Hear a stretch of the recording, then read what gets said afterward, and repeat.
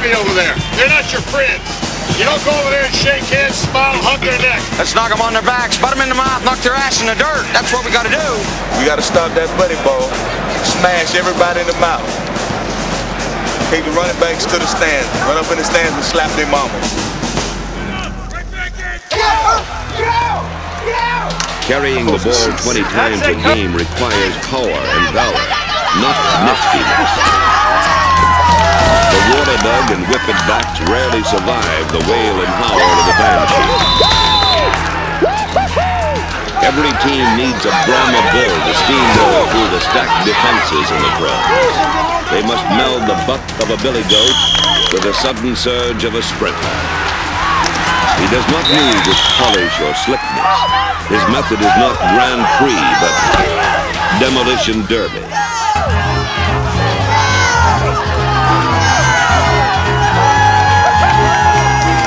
Oh,